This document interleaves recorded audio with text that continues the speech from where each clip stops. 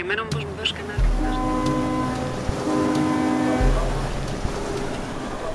Super fã, meu